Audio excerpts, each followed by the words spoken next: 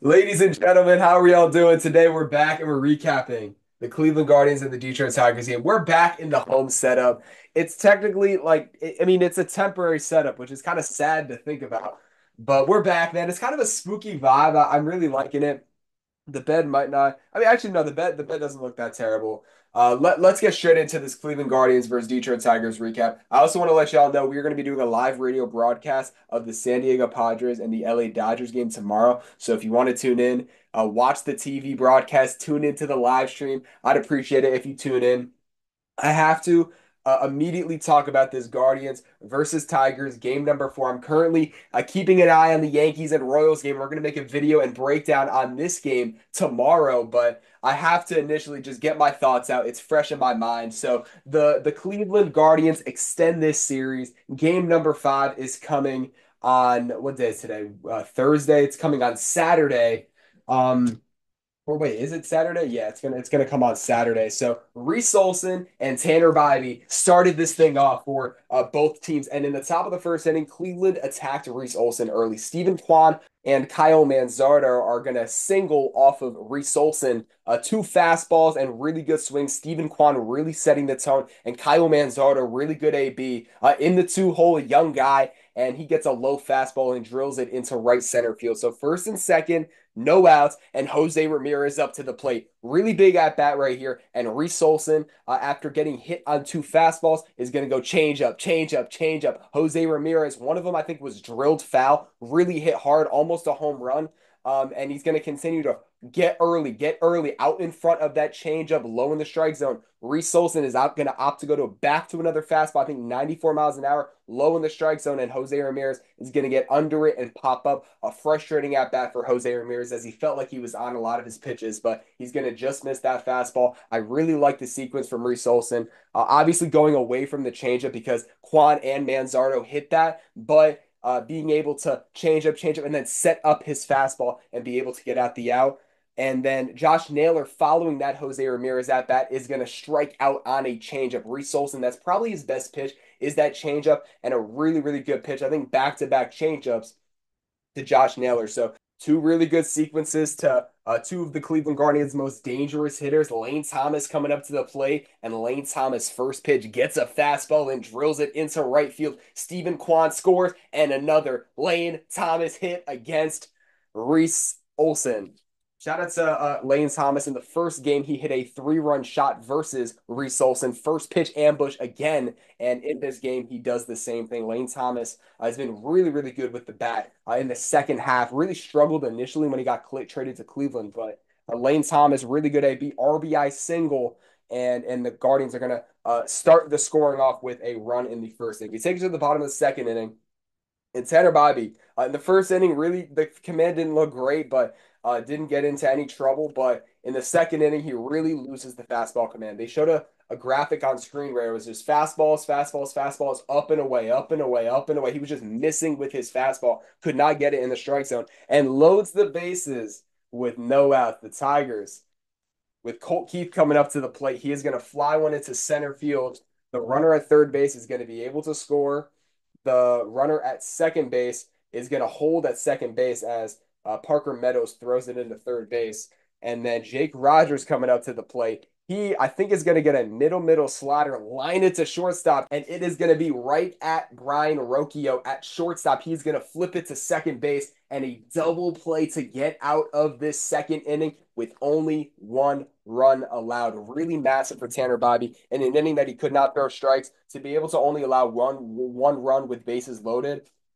Really, really big. Uh, Tanner Bibee uh, let me let me see his final stat line for Bibee, But Bibee overall uh, pitched pitched a pretty solid game. I thought four innings, four four hits, two runs, uh, three walks, three strikeouts. I thought the stuff looked pretty good again. It was really just the command of his fastball. Let's take this game to the top of the fifth inning where Jose Ramirez off of Sean Hanafy, who came in in relief for Reese Olson, is going to crush one into deep left field. Jose Ramirez batting from the right side against the lefty. I remember in this inning, the first two uh, hitters got out, and I was like, Sean Hanafy, a really, really tough at bat. I think it was two lefties in uh, Steven Kwan and Kyle Manzardo. And actually, I was noting, I, I remember I noted David Fry did not get pinch hit for in that situation with the lefty coming in. They opted to keep Kyle Manzardo in that situation. I'm like, it d- didn't really seem like a good decision. Then Jose Ramirez next at that hits a bomb to put the Cleveland Guardians up two to one. A really, really good pitch. It was off a changeup versus Sean Hanafy. You take it to the bottom of the fifth inning, and Zach McKinstry is going to go the other way versus Tanner Bibee. Lead things off here in the fifth inning, and Stephen Vogt immediately after this home run occurs, he is going to take out Tanner Bibee. Uh, ended up not being a good decision to keep him in. Really not a terrible pitch. 94 up and away. If Tanner Bibee didn't have that at bat, I mean, one run, uh, uh, four innings, like that's not a bad start at all. But this run, of course, is going to hurt him. And Zach McKinstry, a really good swing going the other way uh, to tie this game up. And that is going to uh, put in Cade Smith, I'm pretty sure, who came in. And, and now we're both in these bullpens, two of the best bullpens in baseball. And it really got interesting these last couple innings. So we take it to the top bottom of the sixth inning. And Cade Smith still in this game. Cade Smith had a dominant fifth inning when he came in for Tanner Bibee. And Car- Kerry Carpenter is going to get a broken bat single. Ladies and gentlemen, yes, the shades are coming on. I'm having a little trouble with bright lights right now, so uh, we're gonna look cool and swaggy with my my my sunglasses. So Kerry Carpenter, broken bat single versus Cade Smith is going to start it off. Cade Smith, again, dominated. His fastball is maybe the best in baseball. On the broadcast, they were like, Cade Smith has the best fastball in baseball. He's a really dominant fastball. I don't know, he's like six five, but he gets incredible extension, and he is just pounding, pounding fastballs that every single hitter is late. Kerry Carpenter was late on this pitch, but was able to uh, just jam it into left field. And they were talking about the broadcast how that felt like a home run just because Cade Smith has been so dominant out of the Cleveland Guardians bullpen. And then uh, we are going to see uh, Matt Vierling come up to the dish, and he is really going to get decimated. It was really, I think it was a fastball that he was late on, and then he goes slider one strike. I think it was one one, and Matt Vierling way out in front of that slider, and then he comes back one two, another slider. Matt Vierling out in front, really with that dominant fastball that he could not catch up to. You're sitting fastball, and then you see that slider, and you just cannot do anything with it. So uh, with one uh, one away here, Riley Greene going to come up to the plate and he's going to work a walk. So set up first and second, one away versus Cade Smith. Again, Cade Smith to this point, I can't accentuate how dominant Cade Smith at this point was looking. And the, the Tigers putting together base runners with one away. We're going to see Wenceel Perez. I think at this point, Hunter Gaddis came into this game. Yes, Hunter Gaddis in this game. And Wenceel Perez is not going to hit it hard. Uh, 71 miles an hour off the bat, but he's going to jam it into uh, left field, I'm pretty sure. The top of the seventh inning, David Fry is going to respond, man, with a two out, two strike, two run bomb. I guess the Cleveland Guardians are pumped up. Brayan Rocchio. I remember, um, I forgot, I think Brayan Rocchio had a frustrated at bat beforehand. And after this run, it, I mean, you could just see the excitement and like, let's go. Let's go, baby. I just made a mistake. But David Fry comes through in a pinch hit opportunity. Come on, David. David Fry's been electric. A really good swing. Fastball, bottom of the zone versus Beau Brieske. Beau Brieske, one of the better relievers out of the Tigers bullpen. It's really, it's Beau Brieske, Will Vest. Those two guys are really dominant. We take it to the top of the eighth inning. The the Guardians up four to three. Now we got our bullpen in. Hunter Gaddis, Tim Herrin, Emmanuel Clase coming in to, to close this down. So Will Brennan in the top of the eighth inning is going to drill a two out double uh, versus Jackson Jobe, um, who who they put in in this inning. And uh, this was almost a really good play by Wenceel Perez in, in right field. Initially, I thought that hit, I'll hit off his glove, but he misses it. Will Brennan cruises into second base. And then we're going to see Colt Keith with a phenomenal play at second base. Uh, who was batting at this point? I'm not actually, I think it was Andres Gimenez who was batting. And, and he gets one uh, a ground ball to the left side. Colt Keith full extension is going to save a run from scoring. Keeps this ball game at four to three, heading into the bottom of the eighth inning, where Tim Herrin comes in and he gets hit hard by the Detroit Tiger. Riley Greene single, Andy Ibanez uh, flies a deep fly ball into into right field. Um, Will Brennan's able to make the play on the track. Andy Ibanez, a, a lefty matchup, a lefty killer. We've seen it in this playoff run. Uh, gets a fastball. I thought this ball could potentially could uh, could have gone uh, off the bat, but Uh, then we're going to see Juan Wenceel Perez once again come through with a single. We're going to see Juan, uh, Tim Herrin come out of the game. And with first and second one away, Emmanuel Clase is going to enter this game. The lefty, Zach McKinstry and Trey Sweeney are going to get absolutely decimated by the best closer in baseball.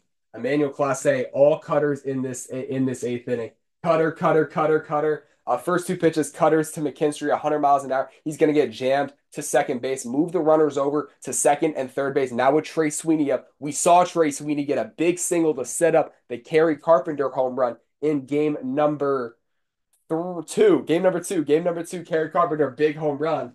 And then uh, uh, Trey Sweeney uh, in this at bat is, is going to have no luck. There was, I think, two times where he chased Cutter upstairs, not really close, and and Emmanuel Clase just blows Cutters by him on his uh, last at bat where he did get a hit. He got a hit on an inside Cutter, but he was not scared to once again go back to the Cutter inside, a pitch that he trusts, and he was able to escape a big eighth inning rally by the Detroit Tigers. We take it to the top of the ninth inning, and the Cleveland Guardians put together something against Will Vest, Brayan Rocchio, and Steven Kwan. Really great swings. I feel like this ninth inning really exemplified why the Cleveland Guardians are so fun to watch. Brayan Rocchio has had such great swings in this postseason. He lines a single up the middle, and then Steven Kwan uh, against Jackson Jobe, who uh, got hit on the changeup earlier. They were really hitting Jackson Jobe hard. Um, they they put together a rally first and third and we're going to see a safety squeeze with two outs.